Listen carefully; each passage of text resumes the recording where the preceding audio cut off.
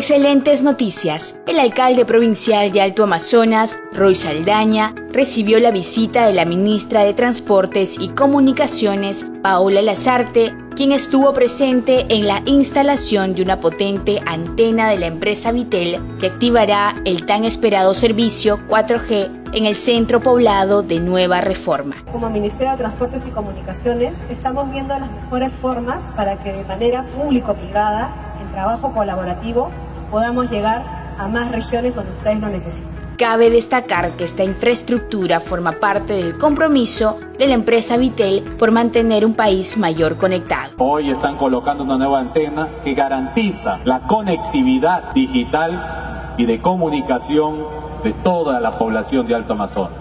En nombre de la provincia, les agradezco. En el evento estuvieron presentes el director general de esta compañía y su director de la sucursal en Loreto. Asimismo se sumaron los congresistas Arturo Alegría, Carol Paredes, Cheryl Trigoso, Norma Warrow, Adriana Tudela y Alejandro Cabero. Además estuvieron presentes los regidores, el gerente subregional Johnny Escudero. Con esta innovadora tecnología tendremos comunidades y ciudadanos más conectados.